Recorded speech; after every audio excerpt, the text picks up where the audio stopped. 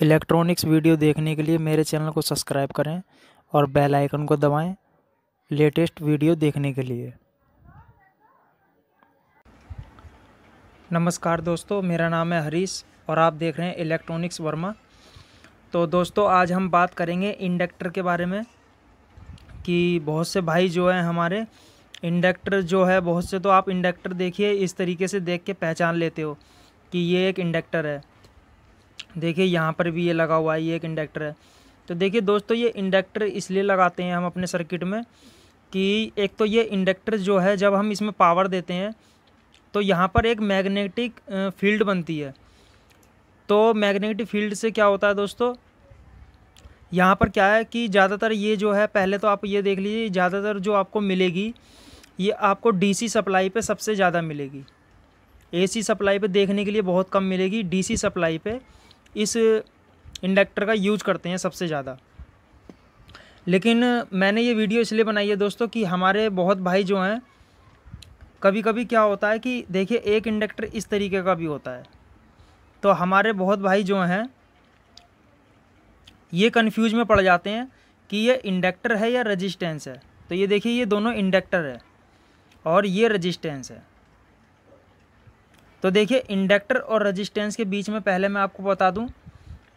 देखिए, इसको पहचानेंगे कैसे आप? देखिए, ये जो इंडक्टर है, इसके अंदर देखिए, रजिस्टेंस बिल्कुल सीधे होती है। देखिए, जो इसकी पिने हैं, ये पिने देखिए, इसकी बिल्कुल एकदम सीधी होती है।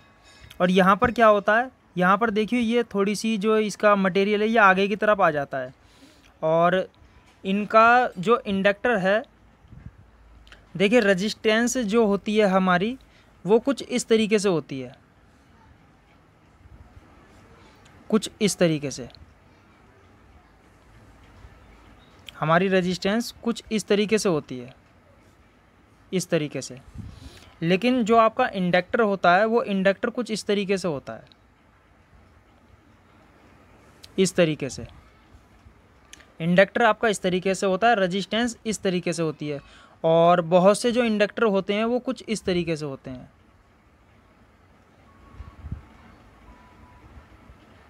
इस तरीके से। तो देखिए, इनकी पहचान कुछ इस तरीके से है। कुछ इंडक्टर इस तरीके से होते हैं, कुछ इस तरीके से होते हैं, लेकिन रजिस्टेंस जो है, वो आपको इसी तरीके से ही मिलेगी। देखिए, मेरे पास ये तीन रजिस्टेंस है, और ये देखिए, ये तीनों रजिस्टेंस एक ही डिज़ाइन की है, ये देखिए। लेकिन यहाँ पर जब मैं इंडक्टर को पकड़ लेता हूँ तो इंडक्टर देखिए बिल्कुल अलग दिखाई दे रहा है। क्योंकि बहुत से भाई इस चीज़ में कंफ्यूज हो जाते हैं, वो इसको रजिस्टेंस समझते हैं। लेकिन ये दोस्तों रजिस्टेंस नहीं है, ये एक इंडक्टर है। अब देखिए मैं आपको दिखाता हूँ। तो इसके अंदर देखिए देखिए जैसे कि मैंने आपको दिखाया ये इंडक्टर लगा हुआ है यहाँ पर। ये देखिए, ये तो आपने देख लिया आसानी से, पहचान लेते हैं कि ये इस तरीके से ये इंडक्टर है। लेकिन ये इंडक्टर देखिए मैंने इस चार्जर में से निकाला है। ये वीडियो मैं इसलिए बना रहा हूँ क्योंकि बहुत भाई जो हैं इसमें कन्फ्यूज़ हो जाते हैं कि ये इंडक्टर है या रजिस्टेंस है। देखो, इंडक्टर का दोस्तों काम क्या होता है कि जब हम इसमें कोई सप्लाई देते हैं तो इसमें एक मैग्नेटिक फ़ील्ड बनती है। उससे जो है, ये जो सप्लाई के अंदर जो नेगेटिव पॉजिटिव जो बनते हैं, उसको एक ही डायरेक्शन के अंदर फ्लो कराने के लिए पूरी कोशिश करती है। तो ये इसी तरीके से ही काम करती है। और इसको ज़्यादातर दोस्तों डीसी सप्लाई के अंदर लगाया जाता है। तो देखिए मैं इसको ज़रा निकाल के भी दिखा देता हूँ आपको। कहीं आप वीडियो में कहें कि ये रेजिस्टेंस है, मैं आपको प्रूव करके ही दिखा देता हूँ कि दोस्तों ये एक इंडक्टर ही है। देखिए। ये ये देखिए। तो ये देखिए दोस्तों, इसके अंदर ये वायर है, देखिए कितनी सारी। ये देखिए। तो ये दोस्तों एक इंडक्टर ही होता है, लेकिन मैंने ये इसलिए बताया है आपको कि आप अभी, आप अपनी सर्किट में कभी कंफ्यूज ना हों कि इंडक्टर की पहचान कैसे करें और रेजिस्टेंस की पहचान कैसे करें। तो इंडक्टर जो है दोस्तों, वो एकदम आपको देखने से ही पता लग जाएगा क्योंकि रेजिस्टेंस जो होती है, वो उसका जो डिज़ाइन होता है कुछ इस तरीके से होता है। ये देखिए। ये देखिए, इसके अंदर मैं ज़रा जूम कर देता हूँ। देखिए रजिस्टेंस का कुछ डिज़ाइन इस तरीके से होता है, जैसे कि मैंने आपको यहाँ डायग्राम में दिखाया कि रजिस्टेंस जो होती है, वो कुछ इस तरीके से होती है। इस तरीके से। और जो इंडक्टर होता है, उसके अंदर वो दो तरीके के होते हैं। एक तो ये, जो ये मैंने आपको डिज़ाइन दिखाया इस तरीके का, ये इस तरीके का इंडक्टर होता है। और एक इंडक्टर कुछ इस तरीके से होता है। और मैं आपको ये देखिए, कुछ इमेज भी दिखा रहा हूँ कि आपको जो पता लग जाए कि इंडक्टर जो है किस किस तरीके के होते हैं। तो देखिए, इंडक्टर के अंदर ये इस तरीके से कोयली होती है।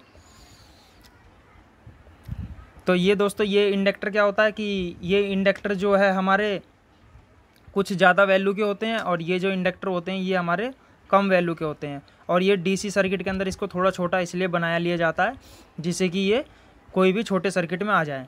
तो ये देखिए, इसके अंदर वायर भी बहुत ज़्यादा होती है, ये देखिए।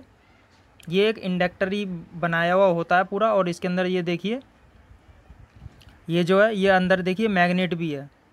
ये जो ब्लैक कलर की इसके अंदर दिखाई दे रही है आपको, देखिए, ये ब्लैक कलर की जो है, ये मैग्नेट है, और ये कॉपर वायर है। तो इसके अंदर से जब डीसी सप्लाई गुजरेगी तो इसके अंदर एक मैग्नेटिक फ़ील्ड बनेगी।